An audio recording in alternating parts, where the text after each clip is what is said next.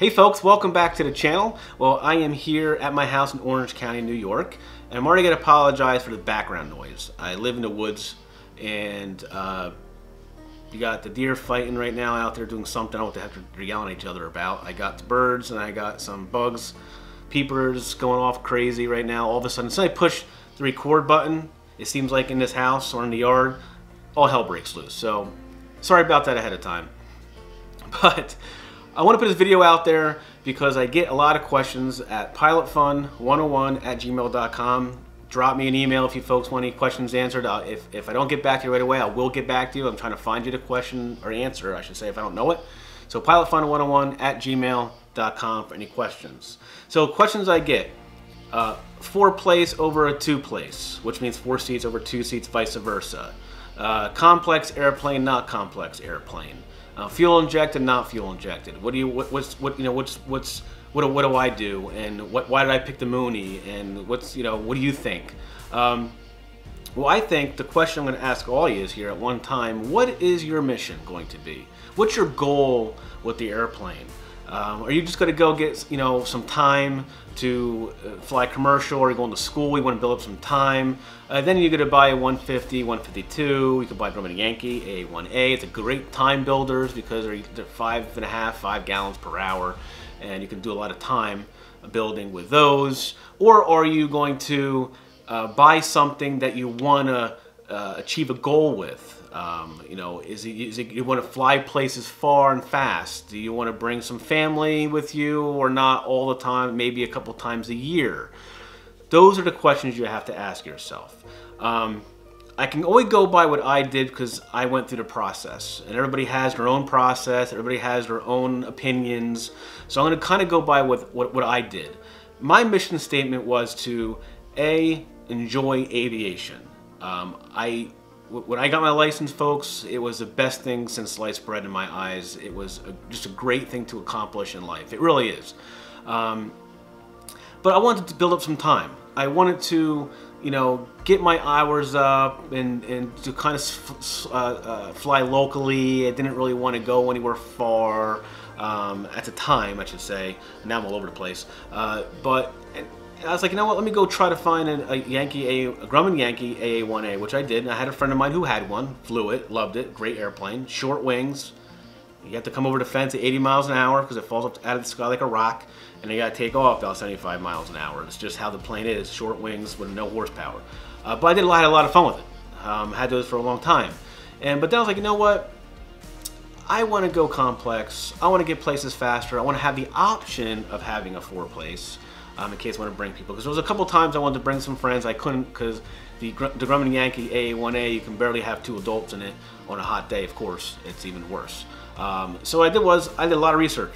I'm a research guy, I read, I, I try to get you know the best bang for your buck because you're spending a lot of money. You're not buying a pair of shoes. Um, so I did a lot of research. I looked at arrows, looked at Comanches, looked at all, all kinds of stuff. Um, you get opinions from everybody, which is great. Um, and I kept on going back to Mooney. And everybody says, why the Mooney?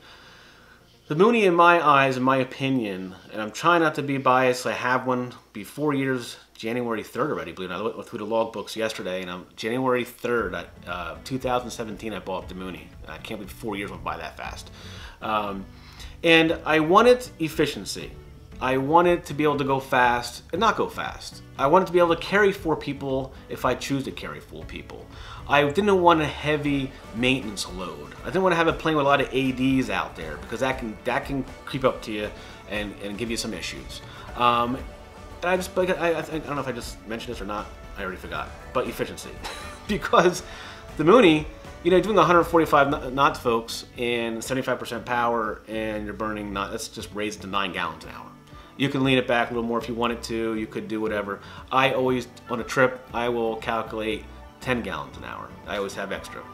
Um, a lot of extra. Uh, but those would, that's what I wanted. And the Mooney is a little bit more smaller inside. Everybody knows that.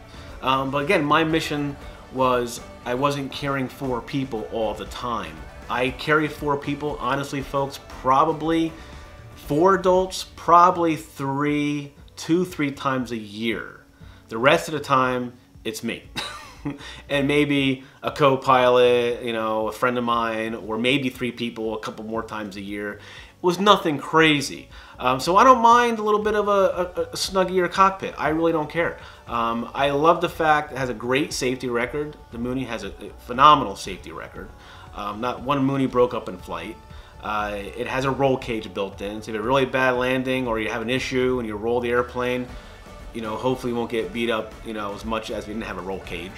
Um, and the smoothness of it, folks. It, it, it flies smooth. I, I, don't know how else to explain it. Um, take one out for a ride. I, you know, I don't know how. You know, is you know the the ailerons and the rudder is they work together. So you're making a left or right turn. The, the, the aileron obviously up and down, left and right, um, but the tail also works with it. So it's a nice smooth uh, turn.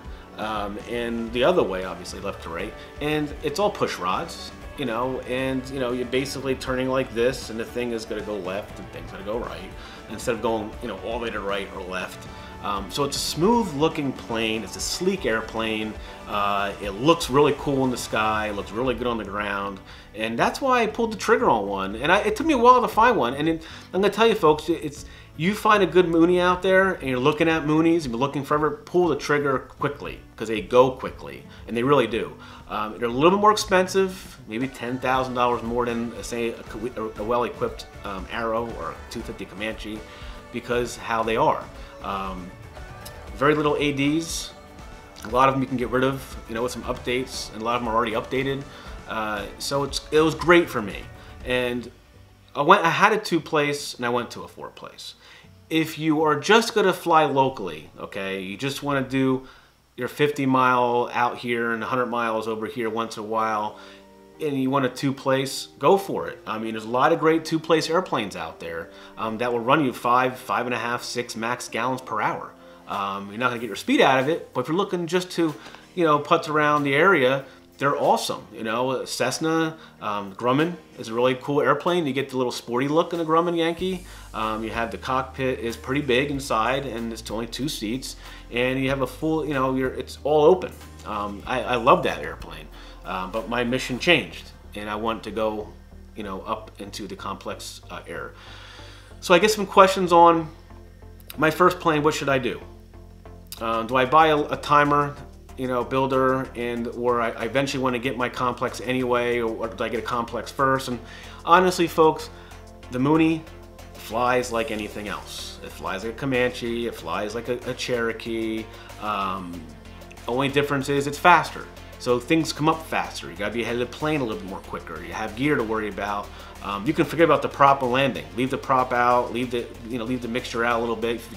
You get, to do all that stuff, you need to watch that gear. The gear is most important. And a lot of people mess up the gear when they're doing pattern work. It happens all the time because you're so used to touch and go, touch and go, gear up, gear down, and all of a sudden you're pulling the RPMs back, your buzzer's going off because you're used to the buzzer going off to slow it down in the pattern, and all of a sudden you leave the gear up because you're so used to hearing that beep sound, you end up landing gear up. And it happens quite often in complex airplanes. That's the only difference. So if you have the money and you want to buy an Arrow, you want to buy a Mooney, M20C Ranger is an awesome airplane, you know, the short body. Uh, it flies all the same you know, the speeds could be a little bit different, you know. Um, with the Mooney, and I get a lot of Mooney questions. That's why I keep saying Mooney. Um, yeah, you got to slow it down. It's it's a lot. Of, like I just did a, a pattern uh, video, I think two videos ago. There's a lot of going on. You always have a lot of things going on. Uh, prop, you know, gas undercarriage, mixture, prop, speed, seat belts, flaps, all that stuff. And you always have to be ahead of it because the Mooney flies through the pattern. But if you have the cash, and you have you know the ability to go up with an instructor and learn how to fly a complex airplane, go for it right away, folks. I have a friend of mine who's has 95% of his hours in a Mooney um, and started out, I think, in a Cessna for a little bit in training, but bought a Mooney right away. And at least you will have that out of the way. And then if you want to go, you know, further and uh, you'll learn more about aviation because your license, folks, is just your license to learn. When you get that license, there's a lot more you need to know. And you experience that learning experience in the air. Um, a lot of different things change. Wind changes, airplane, airplane, uh, airport wind changes. So you got to do a different pattern work. You, so a lot of things crosswind landing. So there's a lot of things you learn as you get your license, um, more and more as you as you go along the path here. So that's what you have to ask yourself. You have the money and you want to go complex, there's nothing saying that don't go complex because you don't. You know, you got you should you should learn how to fly first. Well, you can learn how to fly anything. I mean, you you, you know there's just there's no reason for it. You can buy a Harley or you can buy a scooter. You know, you know, you can buy a sport bike. You can learn on a sport bike or a Harley or a scooter. Whatever you want to do, it's the same thing. The only difference is is things fly faster. You have gear to worry about. But if you're starting off with a complex right away, that's all to come natural to you. You're not even going to be able to worry about that. And a lot of questions that I get is the prop. You know, oh my God, how did we forget to do the prop? And, and how hard is it to Folks, it's easy. It's like having a car with a five speed transmission. You don't want to overspeed, which means you don't want to, you're in fifth gear and you put the prop full forward, you know, in the sky. You to overspeed the prop and you can cause a lot of damage and, and pop the engine actually if, you, if it's crazy. And I know some guys who do a couple of things by accident and it, it caused some issues. So it's like have, driving a stick shift car. You know, you start out in first gear. As you go up, you know, as you get level, you pull the prop back, you pull the prop back, you pull the prop back. And then your level flight, depending how high you are with the, with the manifold pressure and the RPMs, you know, it, it, it's all how fast you want to go. But the prop is just like having a, a, a, a shift car. It's basically the same thing. When you're coming down, you're at 25, 25, 25 RPMs, 25 uh, um, um, manifold pressure, and you're, you're, you're, you're, you know, or you're cruising and you're going downhill, you know, and you're, you're, you're speeding up pretty fast. You, one thing you don't want to do in a car, you don't want to go from third to first, from fourth to first, from fifth to second. You're going to overspeed those RPMs, and the RPMs are going to go way in the red, and you can potentially blow up your engine in your car. Well, the prop is works the same exact way in theory, just a little different on the controls nothing to worry about. You go with an instructor, you, they'll teach you how to do it. There's things online that shows you how to do it. It's very easy to do. And it's great actually because you can you, can take off quicker. You get up to level flight. You pull that prop back and you're cruising. Um, and there's and there's not really any um, things holding you back because when you have a when you have a fixed prop, it's either a climb prop or a cruise prop. A cruise prop prop uh, it takes you a little bit timer, a little bit longer to climb. But when you get up there, uh, you can pretty much go some, you know, rip it, you know, full power and go pretty quick. A, a climb prop that's pitched up a little bit, you can climb out pretty quick. Once you get up to level flight, you're it's it. You, you, you, you're, you're, you know, you're not going as fast if you had a cruise prop. prop. So it, there's a difference. With a constant speed prop, you control the pitch, and that's what's awesome about it. Um, so those are the things that, the questions that I get. Um, and you know, the other questions that I get is the twins to single engine. That's a whole different ball game, folks. A twin is a whole different ball. I don't know how else to explain it to you. It's a whole different ball game. Um, I not interested in a twin. Um, I think I would love to have one in the future, maybe at some point in my life, but probably not, because you have to understand it's everything is double. Okay, everything is double. The annual is probably going to be double. Double the engine, double the fuel flow, double, double, double, double, double. So, and a lot of those planes, you can only bring four people also with you. Unless you get a 421, you know, it, it, it, goes on and on. It, listen, aviation go up and go up and could cost you a fortune if you really wanted it to. At that point, you might as well hire a pilot than rent, you know, lease a, a, jet at that point. So it can go up as high as anything else can go up, just like a car. You get a base car to a Ferrari, it's the same thing. Um, but it's twins or it's a whole different animal. If you want to get a twin, there's a bunch out there. I don't know. I don't really know anything about twins. Only thing I know about it, everything is double the price. to be honest with you, uh, but they're awesome airplanes. They sound great taking off. Uh, that's other questions I have. I went over um, the gallons per hour. Um, you know, other planes are more. And when I did my research, like I said a little bit ago, I put all those in my check boxes. I wanted to make sure, okay, this box is, box is checked, checked, checked. You know, what do I want to get? And it kept on bringing me back to the Mooney. for a complex airplane. Now, there's some planes out there um, that are fixed gear um, that will get the speeds as a Mooney. Um, you know, it's just you know it's just what you want to do. What again? What do you want, and what is your goals with aviation and your goals, you know, with your airplane? Um, but there is fixed gear out there that will go to same speed, burn up a lot more gas. Um, but those are the options that you have in buying an airplane. So yes, if you have the money, okay, buy complex airplane off the bat, find an, an, instructor, don't do anything by yourself, okay? Find a good instructor, go over everything with you, you'll never have a problem. They fly like anything else, okay? So don't be discouraged over the constant speed prop, don't be discouraged over the gear. If, again, if you forget to put the constant speed prop full in on landing and the mixture full in on landing or, or as required, uh, always put the gear down. The gear has to be down to land or you make everybody else rates go up because it's a pool and um, insurance is creeping up because of a lot of accidents over kind of stuff like that. Uh, but other than that, folks, that's all I have for you. Um, any questions you have at all, please email me at pilotfun101 at gmail.com. And if you like what I'm doing, subscribe to my channel. I appreciate that. And uh, next video will be coming out soon. Um, I'm kind of was backlogged. I was on vacation, and I have things that I'm working on right now. Um, oh, before I forget, avionics and price. I'm sorry. I have on my sheet here, and I actually um, forgot to go over it with you. Price of airplanes are going up, just like anything else right now. Um, they're going to continue to go up, depending on the condition of the airplane. Okay, if it needs a whole panel, the paint's 3 out of 10, the interior 3 out of 10, you can get a bargain for those planes. You know, you can get a you can get a Mooney like mine for $35,000, $30,000, $35,000. But remember folks, you're going to have to put money into those planes. And I can't stress this enough to my followers, to my friends, whoever's watching this video, uh, do please do a pre-buy you must do a pre-buy, spend the extra thousand to twelve hundred dollars, whatever it might be, because the last thing you want to do is skip out on twelve thousand, twelve hundred dollars, and get a lemon, because it happens. I know people, and it goes a deer again fighting in the yard.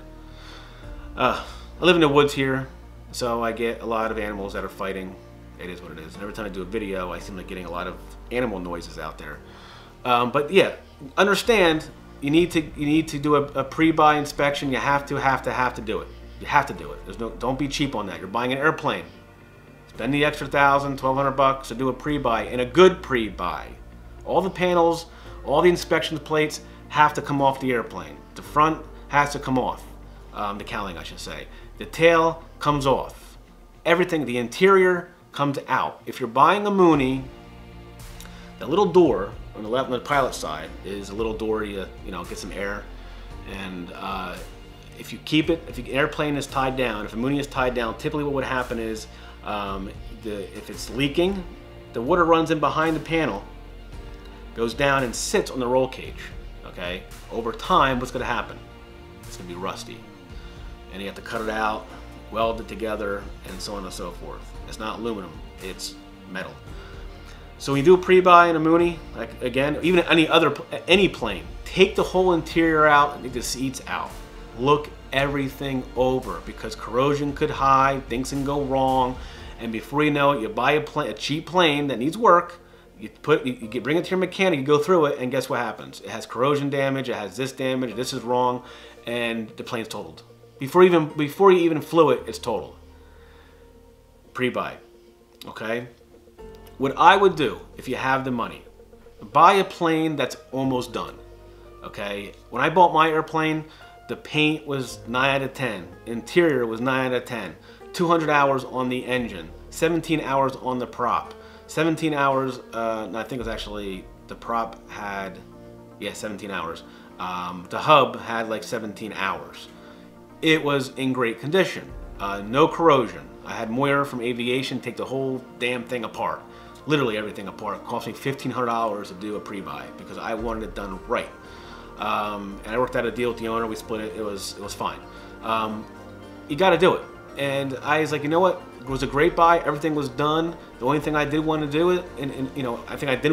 The only thing I did want to do was the glass panel route, and it took me three years to save up for a glass panel. Originally was going with Garmin. Originally was looking at Aspen. Really, and then Dynon came around and Oshkosh three years ago. They've gotten to the certification field, and that's in my airplane right now. It's an awesome investment and self-awareness. It's great. I can't. It's can't complain with my airplane, folks.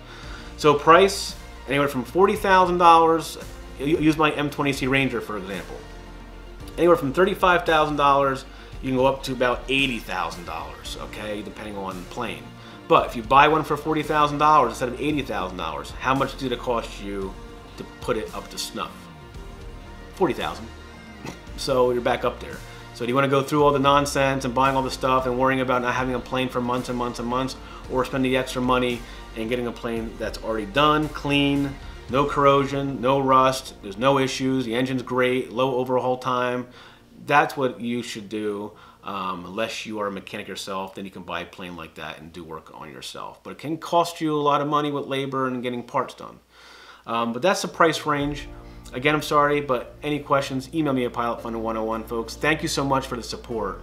Um, Facebook, um, followers on Facebook at PilotFun1 is approaching um, over, over 18,000 followers on Facebook. Thank you folks so much for that support. I appreciate that. Um, I try to post as much as I can on there. And next year, I'm thinking June is going to be the Pilot Fun 101 barbecue I had this year at Orange County. Um, hopefully by then, I'm praying by then the coronavirus stuff kind of goes away so I can use the facility and not a hangar. Uh, so I can have more stuff going on. I'm looking to have live music, um, vendors come out and have a good time for the day. Uh, so stick around, folks. Thank you so much again for the support. Any questions, pilotfun101 at gmail.com and thumbs up if you would like. And also consider subscribing to my channel. Again, that gets me going when I see those subscribers rise and I appreciate the support. Like always, folks, fly safe, be safe. I'll see you guys next time. And remember, always try to live your dream. Don't let anybody tell you different because I was on that road before. See you guys next time. Oh, real quick, I actually, got, believe it or not, got a couple emails on the ducks I had in my ponds. Shoot, probably, I forget how many videos ago it was. It was a while ago. It was earlier in the year. And they said, oh, how are the ducks doing? The babies I had. I had a bunch of babies and they were hiding and I had, like, it was a video back. Well, I'm gonna show you how my ducks are doing. Hold on one second, let's just go take a look. They're in the pond right now.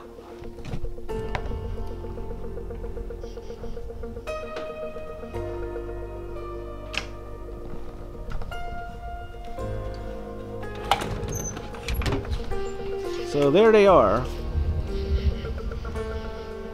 Out in the pond, as you guys can zoom in a little bit. And they're fully grown. So there is actually, there's one over by the bush there, 19 ducks. The original four and plus the babies and some mallards on the other side over there.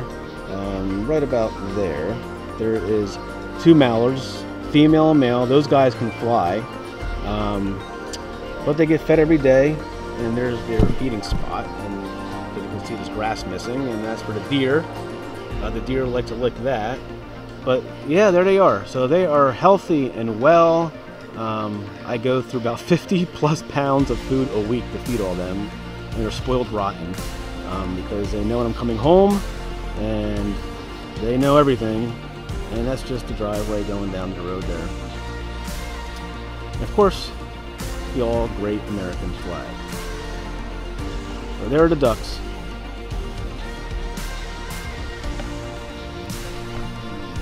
I'll see you guys later.